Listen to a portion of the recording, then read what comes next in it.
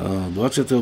mája prebiehalo taktické cvičenie okrsku číslo 5, ktoré sa konalo autokempingu Račková dolina. Toto taktické cvičenie bolo zamerané na používanie protipovornových vozíkov. Hlavne to bolo poriadané kvôli tomu, že niektorí členovia dobrovoľných zborov v okrsku mali tieto vozíky čisto nové a nevedeli vôbec, ako sa s tým má zaobchádzať, preto sa konalo aj toto taktické cvičenie.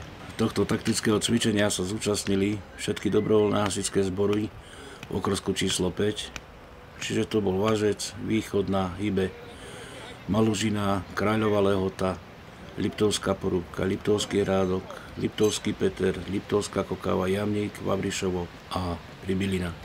V rámci tohto cvičenia sa stavali nodné steny, ktoré sa používajú pri nečakaných udalostiach, ako sú povodne.